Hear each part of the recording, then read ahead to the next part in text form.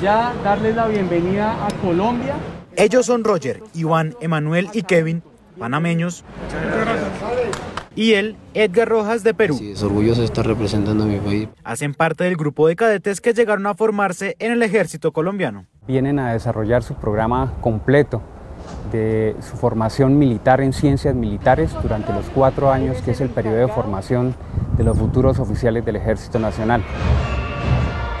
Ejércitos de países aliados que reconocen la calidad educativa que se impone en la escuela militar. Esta es la mejor de la región, puesto que ofrece la doble titulación al momento de graduarse como oficial subteniente.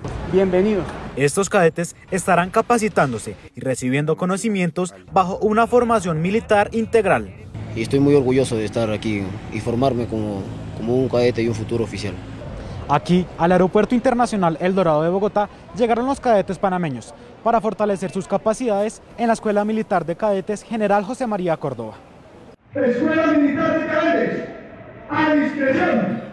Pues espero eh, aplicar todos los conocimientos, tanto académicos como militares, y aplicarlos en la institución de mi país. Junto a ellos, otros 212 cadetes colombianos se incorporaron a esta alma mater, quienes serán los próximos oficiales de las Fuerzas Militares de Colombia. Porque somos un referente, no solo a nivel nacional, sino a nivel internacional.